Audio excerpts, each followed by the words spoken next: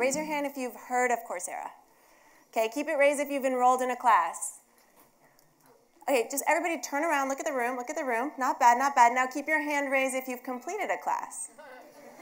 Aha! Actually, uh, you guys are impressive, but as a, as a whole, we can do better. Um, so today I'm going to talk about how machine learning is powering learning at scale. I'll focus in particular on case studies in the Coursera context, but a lot of the learnings are generalizable across learning platforms um, and other innovations. So what's our vision as a company? We envision a world where anyone, anywhere can accelerate their career and their life through life transforming learning and credentials. And I'll talk about both of those pieces. It's not just about learning and developing the human capital, it's also about building the credible signals about what you've learned um, that can result in outcomes in the labor market. So why do we care? We care because, and, and I uh, swiped this from Thomas Friedman's latest book, we care because the rate of technological change is increasing.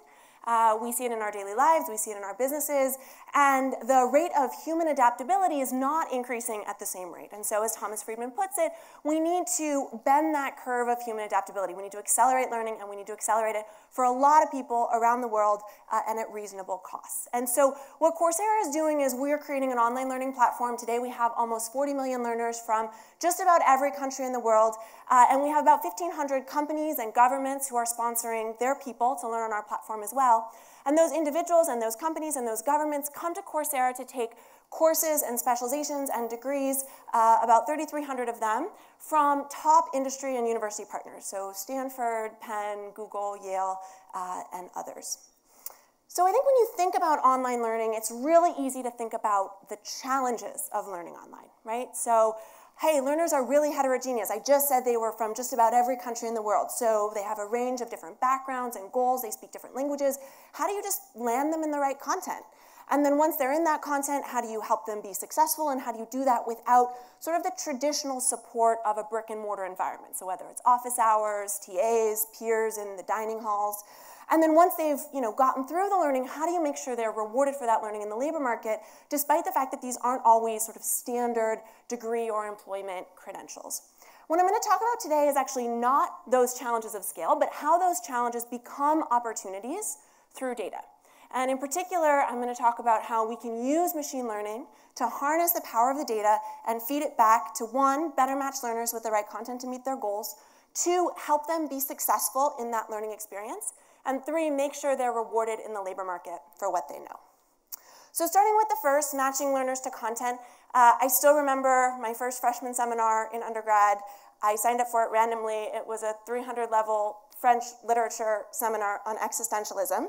And my learning from that, my biggest learning, was nothing about French existentialism. It was that great learning starts by landing in the right course. Um, so hopefully not all of you can relate, but maybe some of you can. Uh, and so matching learners with the right content is really the process of discovery. And you can think about Netflix, you can think about Amazon, you can think about discovering all sorts of goods and services throughout the internet. I'm not going to talk about those algorithms. We'll leave it to the big guys. Uh, but what I am going to talk about is algorithms that are specific to the learning context and the applications that those are unlocking for learners on Coursera. So in particular, I'm going to talk about our knowledge graph um, and I'll focus first, so at a high level, what our knowledge graph is doing is we're taking a robust library of skills, so we have about 40,000 skills, and we're mapping them to the content, so what's the content that teaches those skills, to careers, so what are the careers that require those skills, and finally to learners, so what are the learners who have those skills and at what level. And this powers a range of different applications on the site. Um, to start, I'm going to focus on some discovery applications, and in particular, I'm just going to focus first on the very simple edge between the skill node and the content node. So what this edge is doing is it's estimating for any given skill and any given unit of content, is that skill taught in that unit of content, and if so, at what level? And this model is trained on data from across the site, so we have sources of truth from our university instructors who are reporting what they're teaching, sources of truth that's crowdsourced from learners across the platform who report what they're learning as they're moving through content. And we also have features of the model that come from the text corpus. So what's the frequency with which skills or concepts related to these skills, and what's known as an embedding model, appear within the course. So a very simple application of this edge of the graph is skills-based search. So this was the first application of the skills graph, and the idea was we want people to be able to find content by the skills it teaches. Lots of people are looking for tools or technologies. Maybe they see it in a job posting for a role to which they want to apply, or they see it listed in the requirements um, for a freelancing job that's posted on Upwork. Uh, but they come to us because they want to learn, say, NumPy. So NumPy is a language for scientific computing in Python. And university instructors often will not say that they're teaching NumPy. They often won't say that they're teaching these tools and technologies. I believe this is because they see the tools as a mean to an end, right? You're learning statistics. You're not learning uh, NumPy. But learners are looking to learn particular skills, and we need to help them uncover it, right? And so when we moved to the skills graph, and in this case, skills-based search, we went from having no results to help learners find content teaching NumPy to having several dozen uh, today. One of the things I love about data products, and this is a simple example, uh, is that data products often do more than the creator first anticipates they might do. So our original skills graph only had business, tech, and data skills, um, and it was really focused on those career relevant areas. But because of the crowdsourcing component of the graph, over time the graph grew to incorporate soft skills because as learners were moving through content, they were self-reporting, learning confidence and stress management. And this in turn was added into the algorithms. And now when learners come onto the site and say, hey, I want to learn, in this case, um, it should be confidence. It still says NumPy. If only that were a soft skill, then I'd have some. Um, but it, will say things like, uh, you know, communication, giving presentations, public speaking, and learning how to learn. So this sort of assumes that the learner comes in wanting to learn a skill, be it a soft skill or a hard skill. But for a lot of learners, they just know their career goal, right? I want to be a data scientist. I want to be a machine learning engineer. I want to be a marketing analyst. And so for the next step, we mapped careers to the skills that they require, and then in turn could use the additional edges from the skills to content in order to create role-based or career-based discovery. And this model is powered by a couple things. One is requisitions for those jobs. So what's the frequency with which those skills appear in job postings? But the second is real learner data. So looking across our almost 40 million learners, for learners who are already in those roles, what skills do they have and at what level? And so here's one application. The learner comes to the site. She says, I want to be a biostatistician. We return her a list of courses relevant for that career. On the back end, again, we're pulling in, okay, the career biostatistician maps to a set of skills at particular levels. Those skills map to a set of courses, and we can return uh, a learning plan. We can do better still by understanding more about each individual learner when she enters. So what does she already know? And this really gets at the efficiency of learning. I think uh, you know, the biggest cost to learning is not the 49 or $79 that we'll spend. For most of us, it's the cost of our time. And so making sure we understand the learner's baseline ability and are providing her a learning path that assumes that baseline ability and allows her to learn on top of it is crucial for efficiency. So where do we start? We start with measuring each individual's skill level. And on the site today, we have about 80 million assessments that are attempted annually on the platform. We can train what's called IRT models. These are item response theory models from the learning analytics literature, um, which in essence simultaneously estimate how difficult is each question in the skill that it's assessing, and given how a learner does on all of the questions she attempts, uh, backs out her ability. So here's a very simple visualization for what a given learner's skill profile might look like. This particular learner is stronger in data management um, and weaker in machine learning. So in personalized recommendations, we can, for example, recommend beginner machine learning content uh, versus starting in intermediate or starting in advanced. So those are some very simple examples about how we can use machine learning, in this case through our skills graph, to power discovery. Whether it's a simple skills-based discovery for someone who knows exactly what they want, a career-based discovery for someone who's oriented towards a particular role, or more involved personalization where we're trying to meet the learner where they're at so they can get to that goal more efficiently. Uh, but obviously, that is only the first step, right? Landing in the right course is only the first step of the learner's journey. And a lot of what we need to do is help learners be successful and stay on track through their learning experience. So I'm going to talk about a single example. It's an application called In-Course Help. But before I do, I want to remind you what the first movie was. We're in a movie theater, so it seemed appropriate. Um, the first movie was very simply filming a play on stage. And similarly, the first MOOC was very simply filming an instructor in a brick and mortar classroom. But today, movies have taken a totally different turn. You can do things in movies that you could never do on a brick and mortar stage. And similarly, we want to be able to do things in the online medium that we would never be able to do in brick and mortar classrooms. And so you can think about the range of things. One example is personalized just-in-time interventions to support learners in their learning. And where did this start? It didn't start with a deep learning model. It didn't start with uh, you know, very complex natural language processing to build a question and answer bot. What the neural net does is it predicts, okay, based on what we know about you, both your demographics and your learning behaviors, and what we know about the demographics and learning behaviors of past learners and how well they responded to these interventions. So for example, whether they said it was helpful or not, whether it moved their item completion or not, whether it increased their likelihood of completing the overall course, we decide whether or not to serve a particular intervention to you. So the dotted line is when we first rolled out the model versus just serving the interventions to everybody or serving them to a subset of people in a rules-based way. Uh, the vertical axis is the share of interventions that are deemed helpful relative to not helpful, and you can see it increase dramatically after the model launched, and then it sort of asymptotes uh, beyond the, that August 1 date. So yes, there are points when a lot of learners drop out. You can serve them customized study guides, but learning is hard and sometimes it gets really hard and people will drop out throughout the journey. So if you think back to your best teacher, they weren't just there at exam time, they were there to remind you not to look at your phone or to make sure you were paying attention. Um, and you might think that we actually can't do that in the online context, but in fact, we have a lot of really valuable data that, if anything, lets us do it in some cases even better um, than, than a teacher and do it at scale. So we built a range of nudges. These are about intervening with learners um, to help them get back on track, primarily behaviorally, so emphasizing growth mindset and social proof. Um, some of these happen completely under the hood without the learner directly engaging. In other cases, we want the learner to actually kind of choose their own adventures. Anyone read those? Those books. Um, and so here what we're asking the learner to do is we're saying, okay, what's your goal for this course? And then they have both structured goals that they can set, right? So in, in this case, there's a set of buttons. They can choose one of the buttons. Um, and then they also have unstructured goals. So they could write in some, some free response answer. And for the structured goals, what we do is we marry that with how they do downstream. So how much progress are they making towards their goals? And we use that to nudge them. So we congratulate them for reaching their goals, or we remind them that they're close to their goals. Uh, you might be wondering what we do with the unstructured data. The unstructured data is used to power which goals learners like them are shown as options in the future. So we are not actually on the fly uh, ingesting your unstructured goal and, and trying to serve you some sort of reminders around that, but future learners will then have those unstructured goals as potential options in cases where those unstructured goals are common enough for people like them. So, you know, what I like about this feature is it's sort of a constant feedback loop, right? We're serving, it's relatively new. We've served um, about 40 million interactions across 40 different use cases or types of interventions.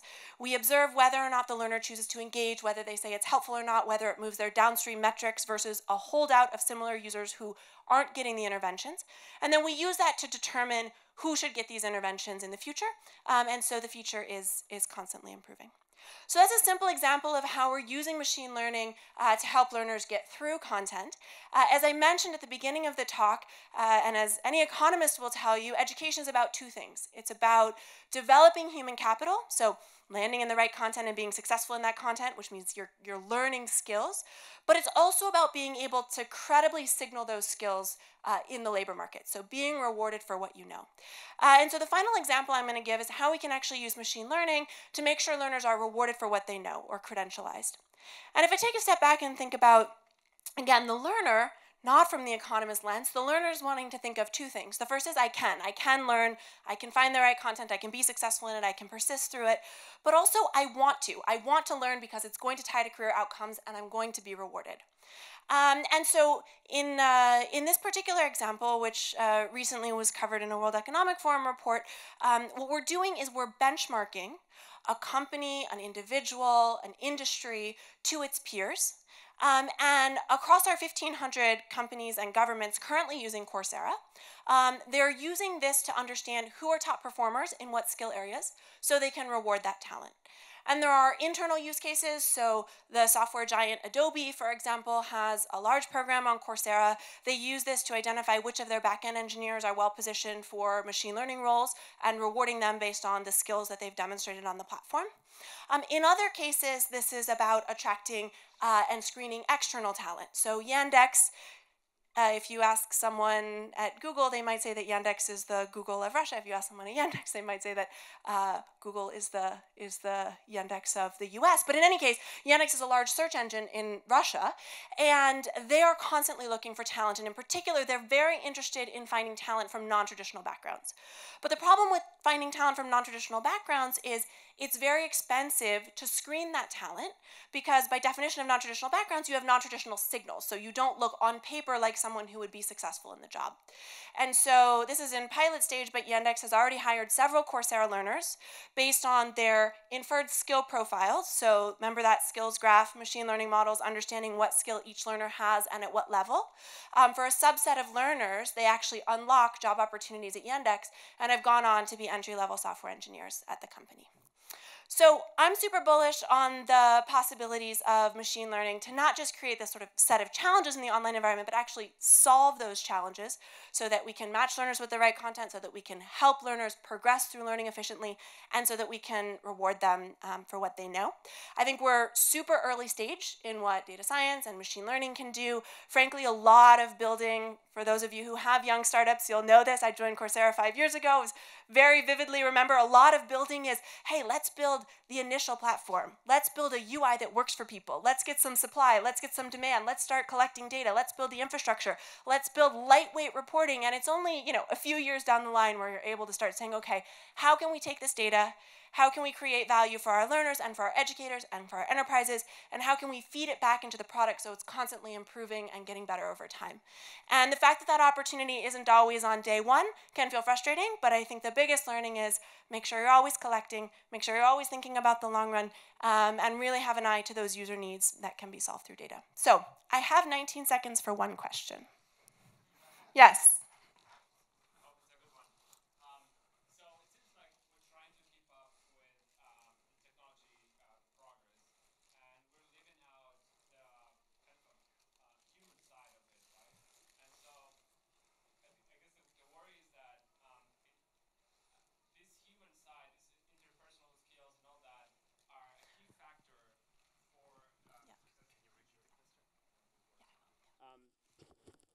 so my question would be, what do you think that means uh, in the long run for Coursera and other online platforms?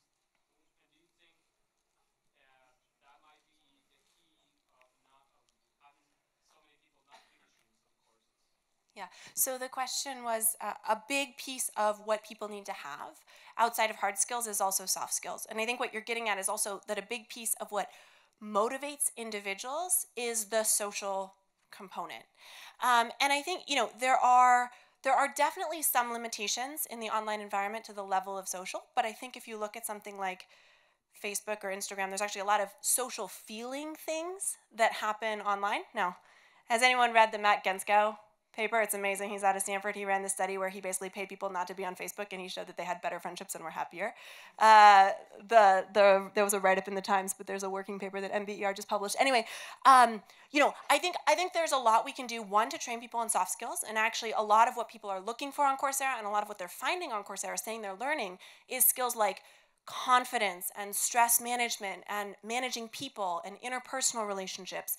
Um, and so that's something that I think people can learn and take away from some of the content.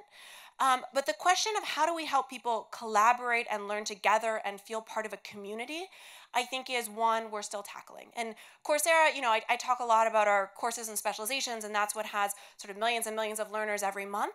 But we also have degree programs. And so there we're talking thousands of learners who are taking, you know, an online MBA or master's in computer science or data science or accounting or, uh, you know, from the University of Illinois or Penn, which is the first online program, et cetera. And there we're starting to explore what peer-to-peer collaboration can look like, right? So, so it's different than in the MOOC environment. You're not in a class with 50,000 or 100,000 people. You're in a cohort of, let's say, 800. Um, but, you know, what is team work look like? What, uh, how is that evaluated? How do you communicate with those people? Um, and in our particular case, because we're still exploring what's going to work, we don't want to build these all zero to one. So it's a lot of third-party integrations, right? So you know, Zoom is a mechanism, Slack is a mechanism. Like a lot of the things that people use in their day-to-day life um, can be incorporated uh, into the learning environment and potentially making it more social. But I think we're very early days there, and I agree with you. Soft skills and collaboration are going to be really important in making it feel you know, like rewarding. Uh, I think we've come to the end. And thank you, Emily, for the energy with which you, you know, came back to the session. Please give her a big round of applause.